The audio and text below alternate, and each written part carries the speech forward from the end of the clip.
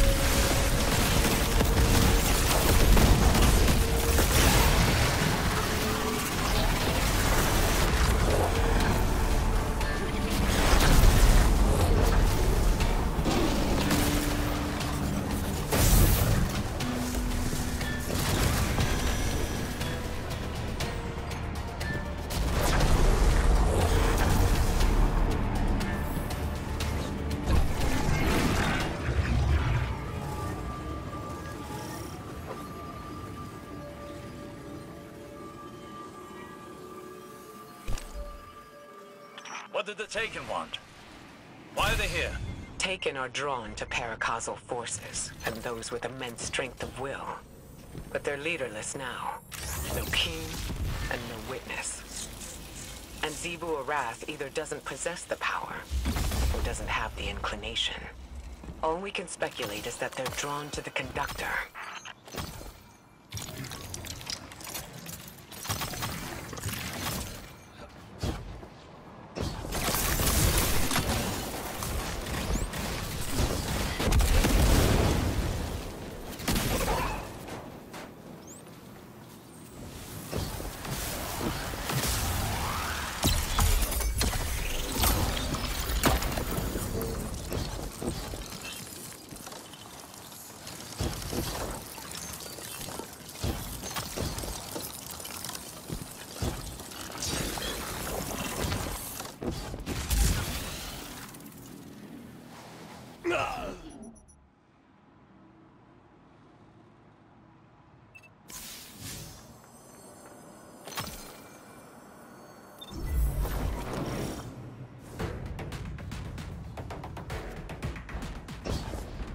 Thank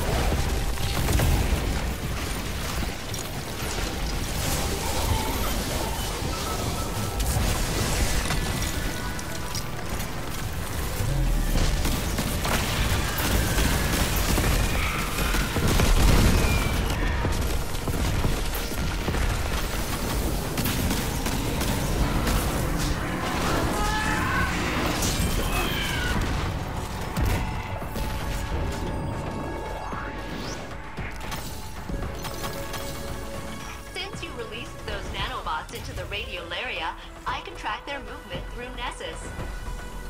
Couldn't have done it without you. You know, since I'm all the way up on the planet's surface. It's fun looking at this place through your eyes, though. Exploring. Sightseeing. Even after all these centuries, there's a lot of this planet I haven't seen. Thanks, Captain. The Vex have established their defenses. Remove them.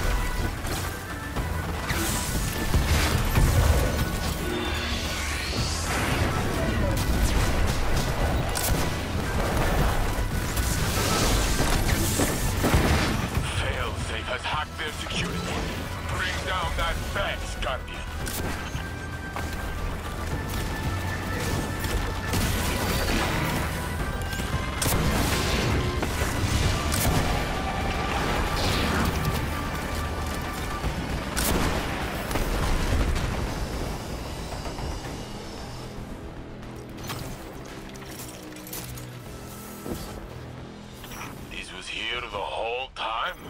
Failsafe did not know? Failsafe sensors couldn't reach this far beneath the surface of the planet. Now they can, assimilating data. Wow. Wow. Wow. This was here the whole time? Maybe. Or it could be something new. Something the conductor built when they grasped the Echo's power. So, uh, speaking of, those nanobots aren't responding to my signals. There's a pretty high chance the conductor hijacked them. It ends here, Captain. Sorry. It's alright, Failsafe. We can figure out another plan. Return to the helm, Guardian. Failsafe and I will coordinate and find out our next steps.